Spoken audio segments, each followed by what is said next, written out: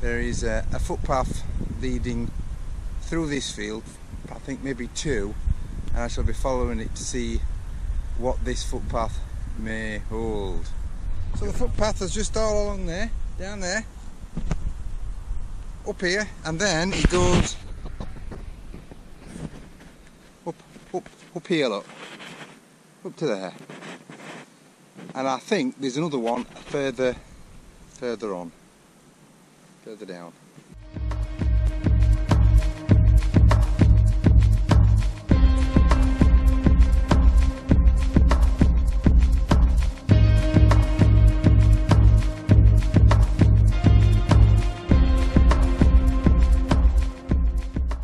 So I've finished my little tour. I've just been on the footpath here, as you can see just down here. Just 28 coins there, two silvers.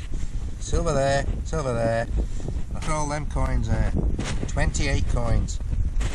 Du-du-du. That is not a coin. I'm not sure what that is, some sort of lead thing. Uh, and a pendant. And a threepenny bit of George the uh, uh, 6th. All different pennies. Going back to 1806. Thank you very much. Catch you on the next one.